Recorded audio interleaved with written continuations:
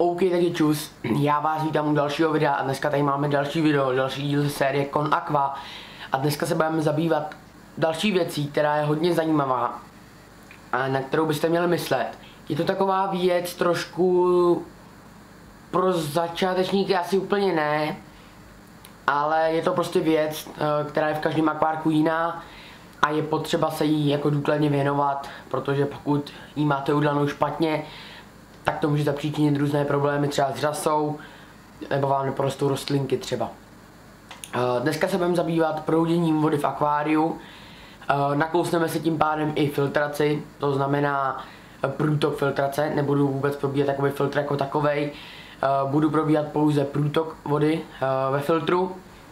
No a nakousneme si teda, ne nakousneme, nakousneme si tu filtraci a popíšu vám, k čemu je důležitý průtok ve vašem akvárku a jaký vám to může zapříčinit problémy.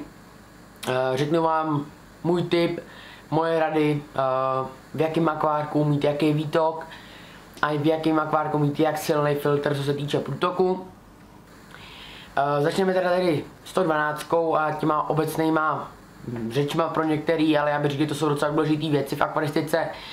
A to prostě obecná charakteristika, proč mít dobrý proud vody v akvárku.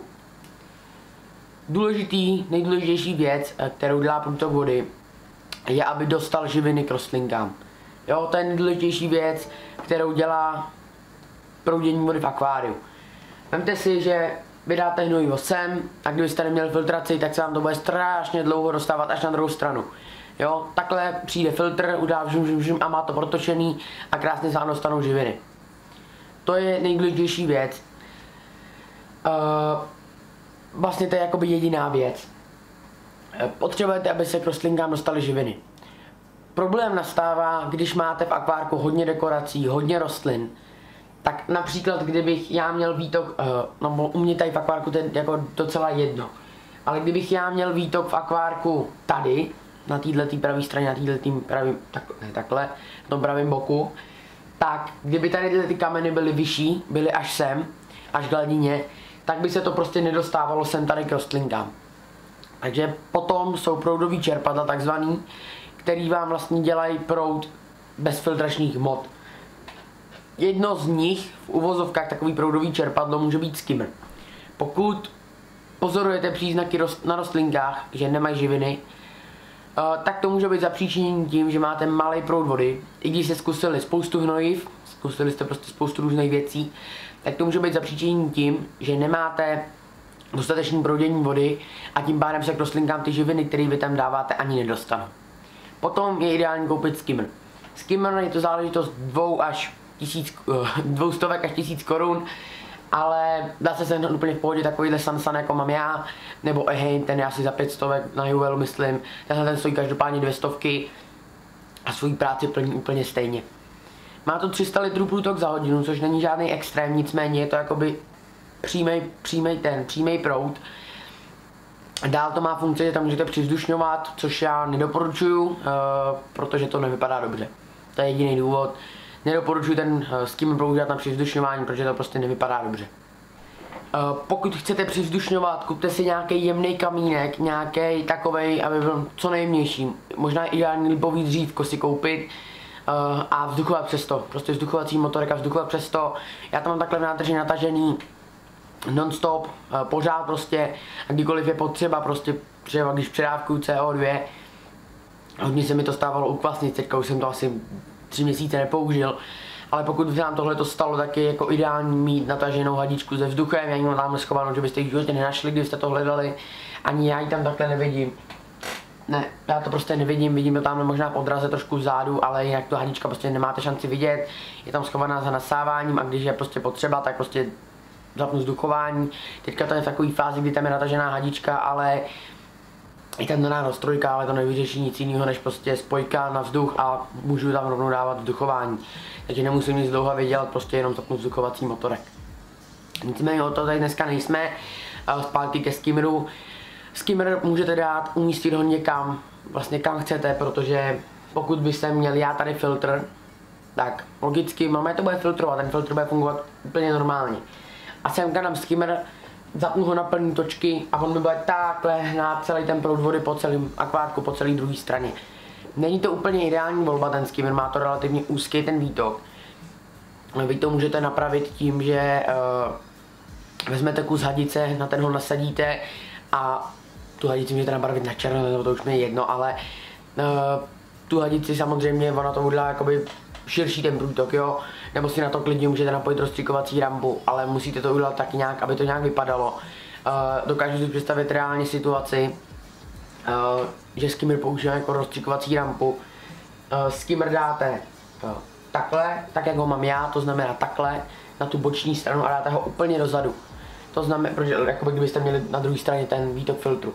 Dáte to úplně dozadu, na to napojíte rozstřikovací rampu, přes kolínko ji vytáhnete nahoru, stejně jako to mám já tady přes kolínko z filtru, vytáhnete ji nahoru a normálně vám bude plnit uh, funkci filtru, těch 300 litrů za hodinu stačí až, až na rozstřikovací rampu, nějakou krátkou jenom a můžete úplně bez problému dotočit takhle zase po celém akvárku a zároveň vám ten skimmer bude plnit funkci, že vám bude odmastovat hladinu.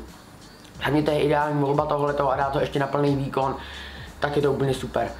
Já ho mám tady asi na půlku a dělá tady docela parádu, jako docela velký výkon to je. A potřeboval bych ten skimmer ještě v ostatních nádržích, je to nejlepší na mastnou hladinu, žádná chemie to nenahradí. Nicméně pojďme se podívat na to, jak vyřešit výtok filtrace. Pojďme si nejdřív teda začít 112, pak se přesuneme k jiným nádržím. Ve 112 mám tu nejlepší možnou variantu, neříkám, že esteticky. Esteticky budete mít nejlepší, pokud budete dávat výtok externího filtru na bok. Ale co se týče nejlepšího proudění vody v akvárku, tak je nejlepší to dát na celou zadní stranu. Pokud máte takový kostky, tak je to relativně jedno, ale já to mám tady po celé zadní straně. To je úplně nejlepší varianta. Točí se vám to vlastně takhle. Takhle se to točí. Když to, když to dáte na jednu nebo na druhou stranu, tak se vám to musí točit takhle a to se většinou neprotočí, pokud nemáte extra silný filtr. Pokud máte nějaký silný filtr, jakože vím, že máte někteří silný filtr, já mám tady silný filtr a hodně silný filtr, tak se vám to protočí i takhle. Ale mnohem lepší je, pokud to máte takhle, i kdybyste měli sebe lepší filtr. Pokud máte delší akvária, metr a víc, tak už to doporučuji dát na boky. Jo, protože ta hladina se bude čeřit, jako, je to de facto jedno, jo, ale když si vezmu, že máte třeba potom 450 juvel, tak tam to dává logiku prostě dát na jednu nebo druhou stranu, napravo nebo nalevo, protože prostě vzadu byste museli natahovat metr a půl rampu a to by vám málo který filtr dal a vypadalo by to dobře, tak tam pak už dává logiku to mít takhle. Nicméně do takových těch 200 litrů bych řekl, že dává logiku to natáhnout na tu zadní stranu. Podle mě to je nejlepší volba, protože se to prostě točí krásně takhle a krásně jdou živiny, odrazí se to o to a jde to krásně ke všem rostlinkám, protože ta voda proudí takhle, jde jako po všech těch rostlinkách až nahoru těm nejvyšším, takže podle mě tohle je úplně nejlepší varianta, kterou můžete mít v akvárku. Nicméně pokud máte menší nádrž, tak tohle to nedává smysl. Pokud máte nádrž třeba 33, jako mám já tamhle, tak ano, říkali jste mi, když jsem to kupoval, že to nemá smysl. No, já jsem to chtěl vyzkoušet a fungovalo to, jo, fungovalo, ale máte pravdu, nedává to smysl, nedávalo to žádný smysl v tu chvíli.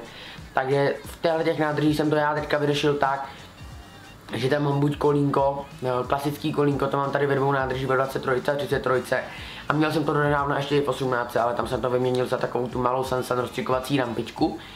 Ale tady mám klasický vývod z kolínka, mám to daný schválně o úroveň níž, ne, nečeří to tolik hladinu, mám tam skimmer, takže mi to jakoby nevadí ve 33 a v 18 tam mám masnou hladinu, aby to ten skimmer chtělo taky.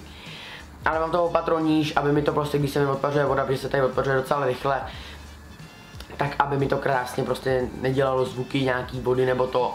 A krásně, ono to tamhle ve 33 i tu hladinu čeří, pač je to jakoby to kolínko takhle trošku nahnutý nahoru a je to plná paráda, takhle to po celém akvárku proudí a takhle mi to opravdu vyhovuje a vůbec bych na tom nic neměnil.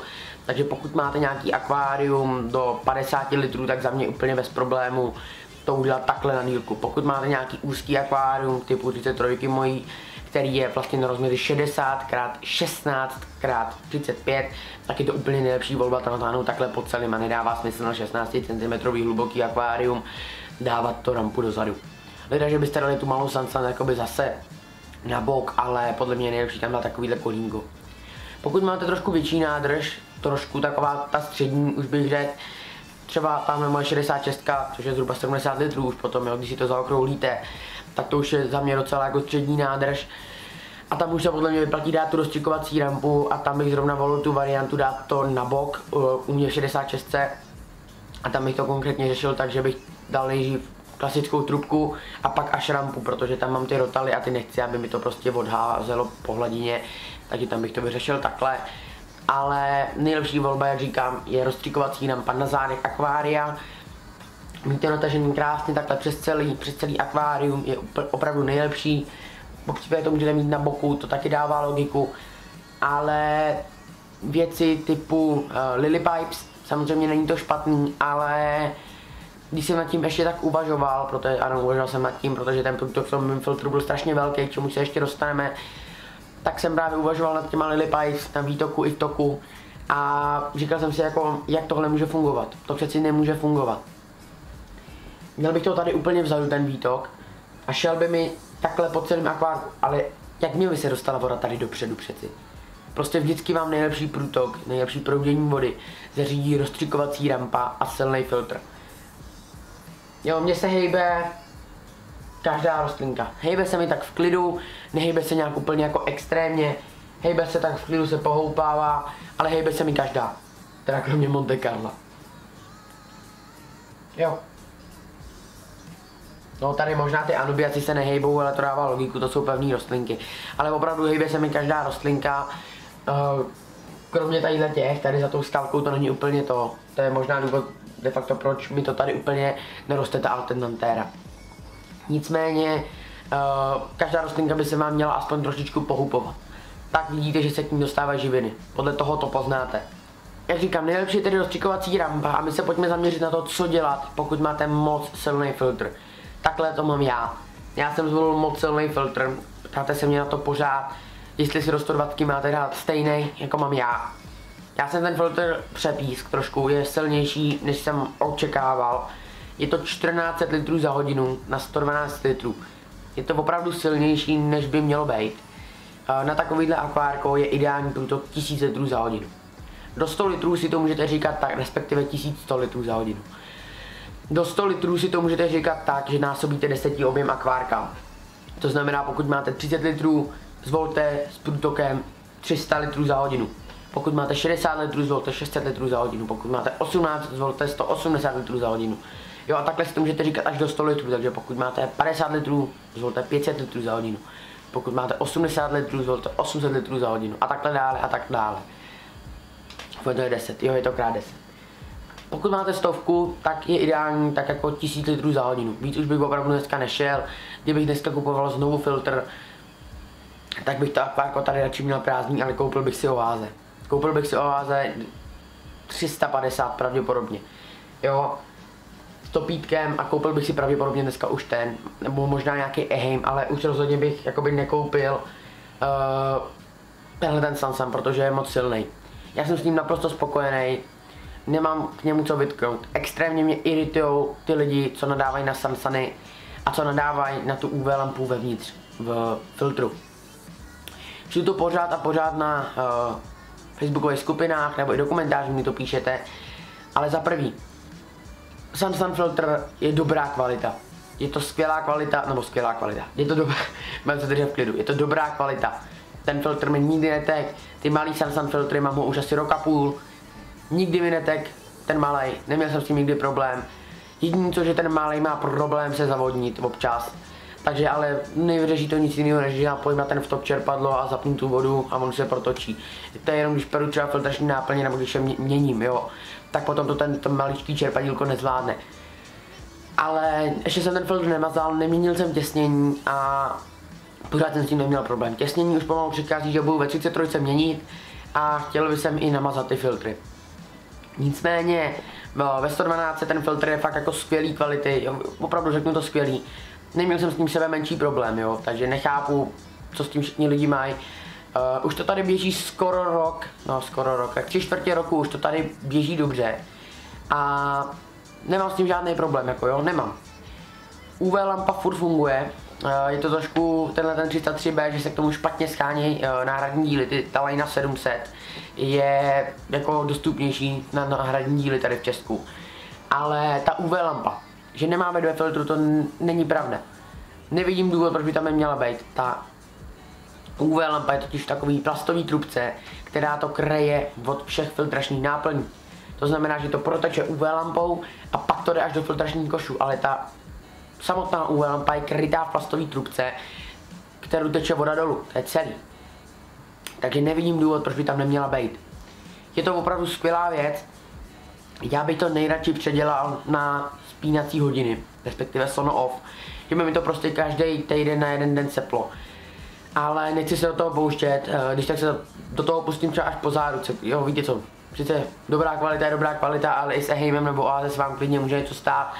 A tohle je přeci jenom Čína a kdyby se mi s tím něco stalo, tak pořád chci mít reklamaci a kdybych se do toho začal vrtat a začal to tlačítko předělávat na další vývod 220, tak už by to nemuselo, uh, nebo nemuselo, nemělo by to záruku. To byla jenom krátká vsuvka k tomuhle. Uh, jak říkám, průtok je ideální volit, řekněte si krát 10 a něco k tomu přidejte. Jo, já mám třeba ve 33 uh, 400 litrů za hodinu, a takhle to má ve všech malých nádržích. Je důležité si uvědomit, že pokud vybíráte uh, filtr a máte tam prostě určitý průtok, tak ne každý akvárium se dá takhle počítat. Třeba 33 je akvárko, v kterém by vůbec nebyl na škodu silnější filtr. Jo, neudělal by tam nic špatného, protože je to akvárium, který je dlouhý, je extrémně dlouhý na to, jakou má, uh, jakou má velikost, jaký má objem. Takže vždycky se koukněte na to, jaký, jakou velikost má vaše akvárium. Pokud máte dlouhý, úzký akvárium, volte prostě trošku větší průtok. Pokud máte kostku, můžete volit zase naopak trošku nižší průtok. Uh, opět taky to záleží na tom, aby vám to stihlo filtrovat tu vodu, jo. Teďka se bavíme jenom čistě o průtoku nebo o proudění vody. Ne o průtoku jako takovým, ale o proudění vody v nádrži. Pokud chcete, aby vám to stíhalo filtrovat tak, jak to má, aby vám to krásně rychle protýkalo přes ty filtrační média, který tam máte, tak samozřejmě musíte taky zvolit silnější filtr. Uh, filtr. Nicméně, uh, já mám tady, jak jsem říkal, 14 litrů za hodinu, bylo to trošku moc. A teďka se pojďme na, podívat na to, jak snížit průtok, uh, respektive snížit průtok uh, akvárku. Teďka se nebavíme o, no já jsem to řekl špatně totiž. Pojďme se podívat na to, jak snížit proudění vody v akvárku, ne průtok. Jo, to je důležitá věc. Takhle snížíte proudění vody v akvárku, když vám to dělá moc velký vír.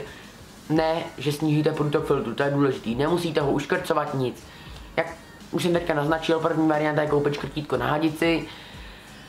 Toho jsem se obával, že já budu muset udělat, ale nakonec ne. Nejjednodušší věc, kterou můžete udělat na začátek, než začnete dělat cokoliv. Z boku, pokud máte na boku dostřikovací rampu nebo nějaký výtok, nedej bože, jenom z kolínka nebo to, tak tohleto z kolínka, tenhle ten filtr by nešel. Je to 14 litrů za hodinu a výtok z kolínka, to jsem zkoušel a celý rostlinky to úplně takhle položilo, jo. O 20 stupňů to s ním hnulo takže to úplně nejde. Uh, možná by tady šlo ty Lily Pipes, ale jak už jsem říkal, tomu já úplně nefandím, protože podle mě se prostě do těch předních partí nedostane uh, voda. Pojďme se tedy podívat, co je nejjednodušší varianta, pokud máte rozstřikovací rampu na boku nebo máte výtok z kolínka. Nejjednodušší varianta, pokud máte výtok z kolínka, zkuste to dát na bok, rozstřikovací rampu a kupte s co největšími dírkama, čemu se za chviličku dostanu.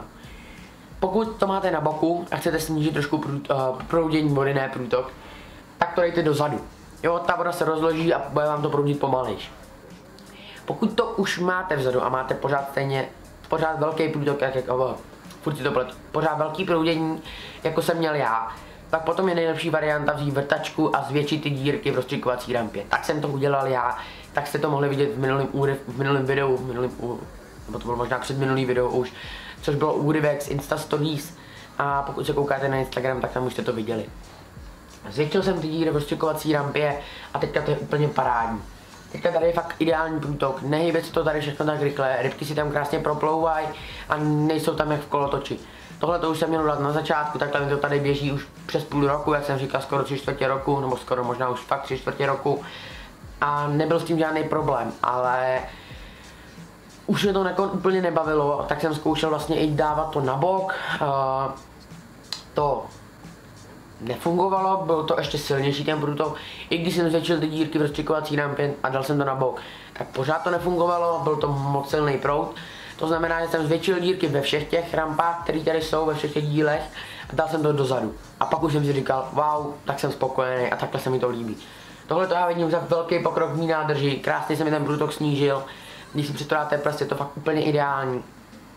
A jsem takhle s tím fakt spokojený. Ten průtok je opravdu ideální a takhle, takhle jak to je, tak takhle už mi to opravdu vyhovuje a ten filtr jsem tím teďka fakt spokojený.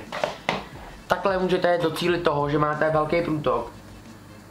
Jo, vidíte, já taky na to musím občas šáhat, já mám trošku už sluch, jako že tohle to ignoruju. Ale pokud máte silný filtr nebo chcete koupit silný filtr, tak takhle to jde udělat. Že zvětšíte ty díry. Já bych to teoreticky mohl klidně zvětšit ještě víc. Další věc, můžete udělat, že ten počet těch dír zvětšíte, nicméně tady už jsem to nechtěl úplně dělat, protože mi to takhle vyhovuje ty díry od sebe. Ale samozřejmě tím ještě možná zlepšíte to proudění vody v akvárku, ty živiny. Ale takhle ty díry mi vyhovují a já bych je teoreticky klidně ještě mohl zvětšit, kdybych chtěl, ale takhle už je to opravdu ideální. Takhle s tím nemám problém. Ono přeci jenom na začátku, tam je ten produkt trošku možná větší v té rozcvikovací rampě, ale jak jsou ty díry větší, tak ta voda ubývá čím dál tím rychlejš a uteče vám a už tam není takový tlak v tom. Není tam takový tlak, když máte, jako když máte ty malé dírky. Jo, takže pokud to chcete udělat, tak aby vám to proudilo míň, ano, proudilo, jestli to řekl správně, proudilo míň v akvárku, tak zvětšte dírky v rozcvikovací rampě nebo použijte rozcvikovací rampu. Jo, to bych řekl, že už je fakt jako všechno. Uh, co jsem vám k tomu dneska chtěl říct, opět jsme tady 23 minut. Uh, je to vždycky docela dlouhý kecání, nicméně doufám, že se vám video líbilo. Mějte se hezky zatím. Ciao.